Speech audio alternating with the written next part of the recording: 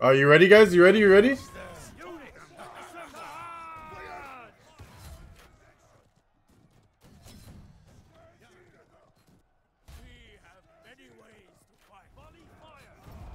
Was entirely worth it.